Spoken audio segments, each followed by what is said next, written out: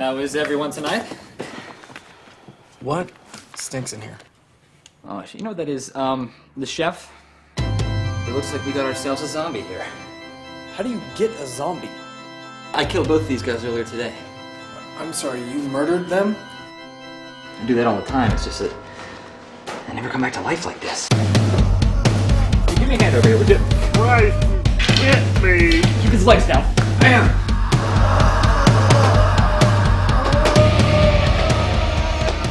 Have all this tape and rope? This is what I keep in my rope and tape bag. What else would I put in there? It looks like she's trying to do her job. It's sort of fascinating. Sick. I want you to go ahead and give it up. Let's give it a whack.